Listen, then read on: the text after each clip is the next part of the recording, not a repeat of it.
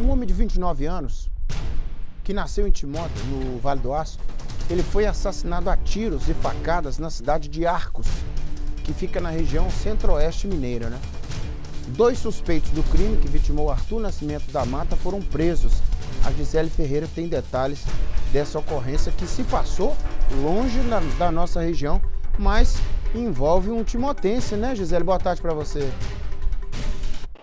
Boa tarde para você, Nico. Boa tarde para quem nos acompanha aqui no Balanço Geral.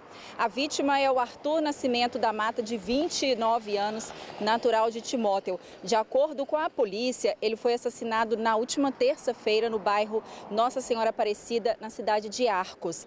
Três homens arrombaram o portão da casa onde ele morava e o mataram. Os policiais foram acionados para o atendimento desta ocorrência e, quando chegaram lá, encontraram a vítima com várias perfurações perfurações de arma de fogo e faca pelo corpo. Pelo crime foram presos um homem de 31 anos suspeito de envolvimento e também um adolescente de 16 anos. Os dois são conhecidos no meio policial. Um terceiro participante que foi identificado como um homem de 24 anos ainda está sendo procurado pela polícia.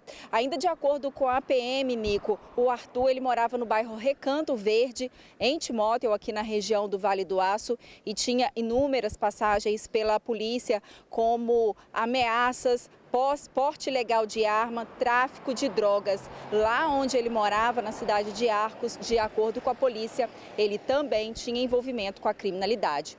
Volto com você, Nico. É, infelizmente, né, Gisele? Lamenta mais uma morte, mas a informação da polícia que você traz só confirma essa ideia de que não adianta a pessoa mudar de lugar se não mudar de vida, né? Quer dizer, esses envolvimentos que a, que a polícia se refere aí no boletim de ocorrência custaram caro, né? Custaram a própria vida dele, né? É um jovem, né? Que tristeza.